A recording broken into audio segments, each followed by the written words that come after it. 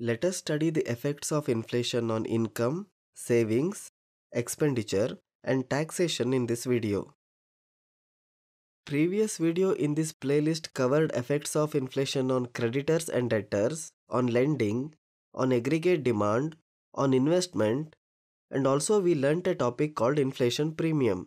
Please go through all previous videos in the inflation series as we have covered most of the effects of inflation under different titles.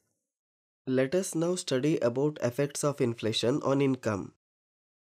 Inflation tax and inflation accounting video has already explained this. Let us examine it once again. Inflation increases the level of income in nominal value. Real income remains the same. You are a shopkeeper. You sold few goods and received more money because inflation had made all items costlier. In nominal terms, your income has increased. But your expenditure will also increase due to inflation. Thus, real value of income remains same.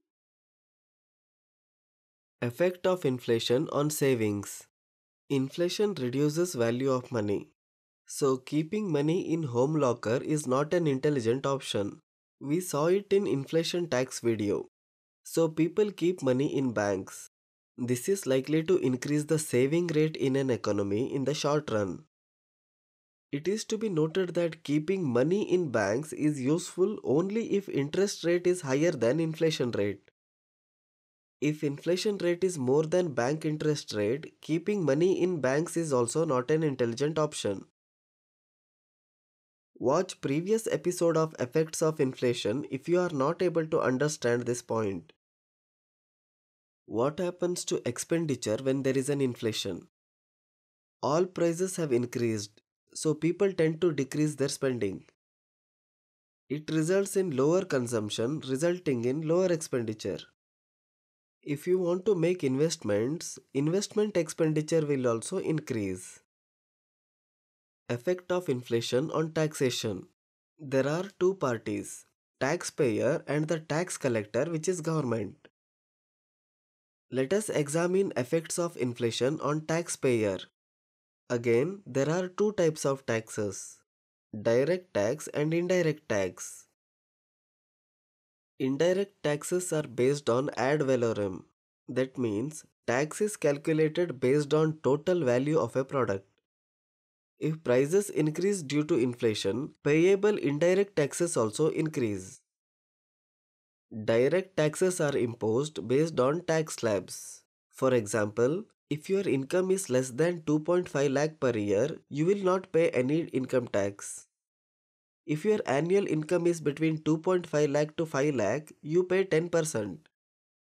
For income of 5 lakh to 10 lakh, you pay 20% and for incomes above 10 lakh per annum, you will pay 30% income tax. These are called tax slabs. Imagine your income was 2.4 lakh per annum.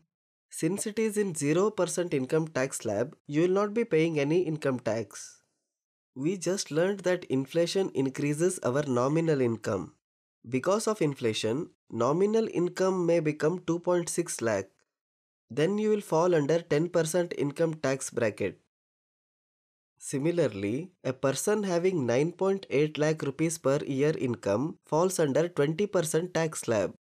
Due to inflation, this income may become 10.4 lakh.